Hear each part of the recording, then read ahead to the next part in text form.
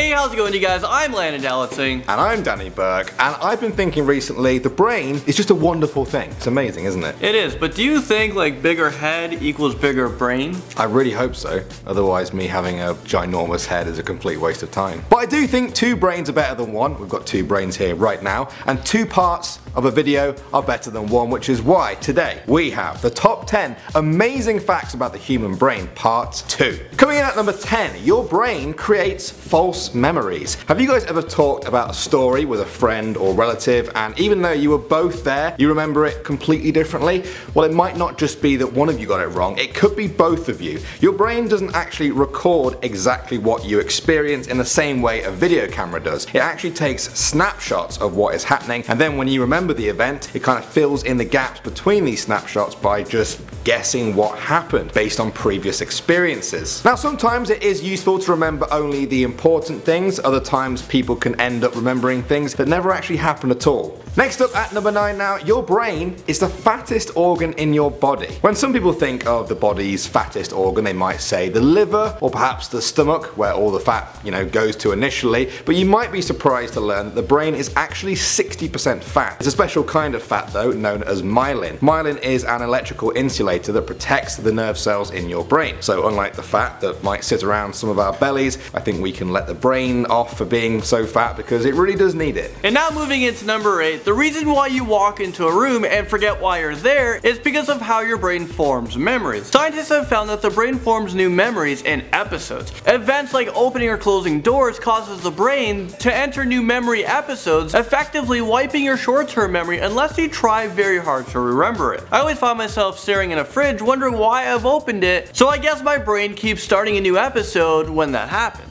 Next up, in at number 7, your brain paralyzes you when you sleep. When you dream, your brain releases chemicals that paralyze your muscles. Well, paralyze most muscles, because sometimes I have like the, the twitchy hand thing. This will stop your body from acting out what is going on in your dream. In humans' distant past, it would be dangerous if you started moving in your sleep. You could hurt yourself or attract predators with all the noise you make. That's why your brain paralyzes you sometimes. If it doesn't work perfectly, you might still swing your arms or kick your leg out while you sleep. Let me know if you guys have any of those like twitchy things at nighttime. Okay, next up at number 6, the human brain has a lot of storage. So the average smartphone these days might have a few hundred gigabytes of memory. It's almost impossible to try and figure out just how much memory your brain has, but one scientific study estimates it could be about 2.5 million gigabytes, or about the same as 12,500 200 gigabyte smartphones. If you filled your entire brain up with just TV shows back to back, it would come to about 3 million hours. You'd have to sit there and watch it for over 300 years to get from the start to the end. I find that mental. Other people say that this isn't even close to how much the brain can really store and that it could be many many more times than that, perhaps even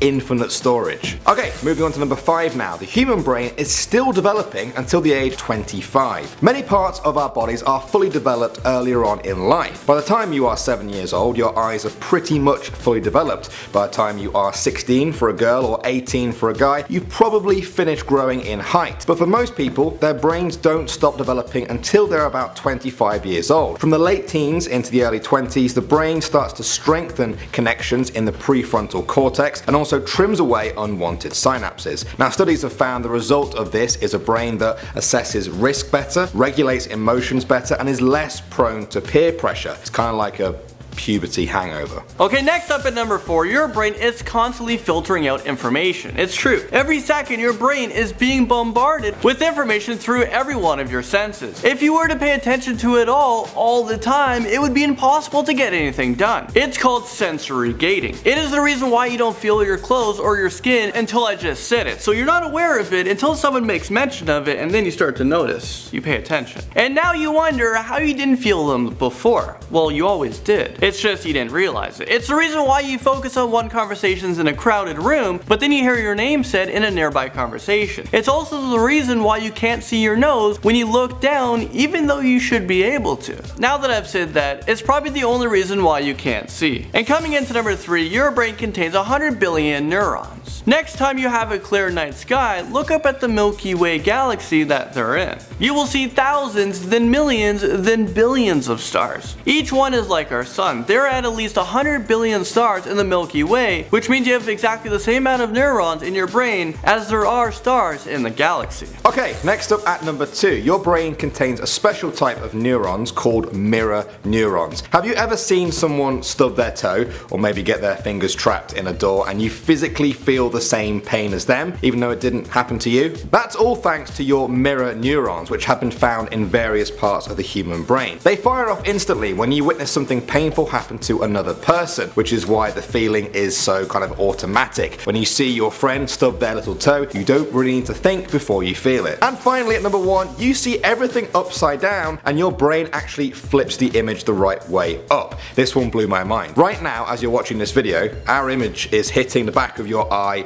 upside down. This is a normal result of how light hits a convex lens such as your eye. Your brain then flips this the right way for you. If you want proof of this, push very gently on the bottom right of your eye and you should see a grey spot appear somewhere in the top left. That's because the bottom right is responsible for seeing the complete opposite which is the top left. Well guys, there you have it. That was our second part of the top 10 amazing facts about the human brain. There's so much more we can learn about the human brain, so let me know, do you guys want a part 3? What do you guys think? Let us know in the comment section below. So that's it for this video. I'm Landon Delatsing. I'm Danny Burke. Make sure you subscribed if you haven't done so already. There's more videos next to Landon over there if you want to keep watching, and we'll both see you in the next video.